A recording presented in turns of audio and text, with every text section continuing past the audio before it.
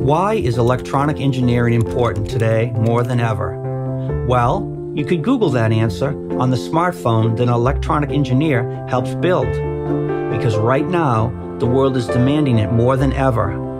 Whether it's helping to build new devices to help doctors care for patients, creating robots that can perform surgeries, or helping to launch the next space flight from NASA. We are at the foundation of all the world's technical innovations. Electronic engineering is the cement base at which we make everyone's life in the world a better place, a smarter place. In the words of an American inventor and electronic engineer, Steve Wozniak, if you are doing something for a grade, a salary, or a reward, it doesn't have as much meaning as creating something for yourself in your own life. We couldn't agree more.